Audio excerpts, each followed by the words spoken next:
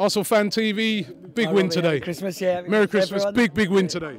Uh, yeah, it was good. Um, I think Santi had a great game today. You know, he, he, kept trying. You know, there was times where you know, and, he was really brave in a couple of tackles. And um, yeah, I think he, he, he was kind of the inspiration when when things weren't going so well. You know, and Is this what we need, right? We need players like him to step up Yeah, when they come in because he is a class player and he's probably been a bit frustrated on being on the bench, but came in today and done the business. Yeah, his, his like his uh, tenacity today. You know, I, I was surprised. You know, because he, he was in, he was tackling with some, you know, hefty, hefty players of, you know, like Allardyce and. But, but West Ham played fair. You know, it wasn't a dirty game at all. And um, but yeah, It's a very important win.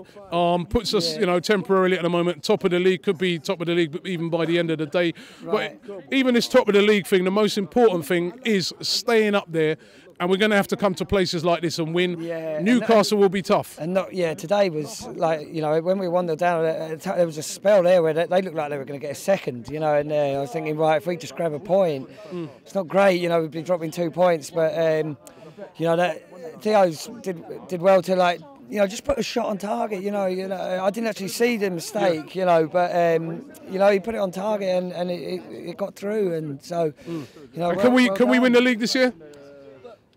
Yeah, yeah. I think the crowd. Don't sound confident. No, no, it's just. Um, It's going to be know, tough. Yeah, the, the crowd's, the, you know, the crowd's doing well. You know, they, like against Chelsea, the crowd were brilliant. They just kept, the, you know, Yeah. but they've, you know, got to give, you know, up it again. And you know, today, that, well, just like I say, double, double, double. Pat Rice has won the double.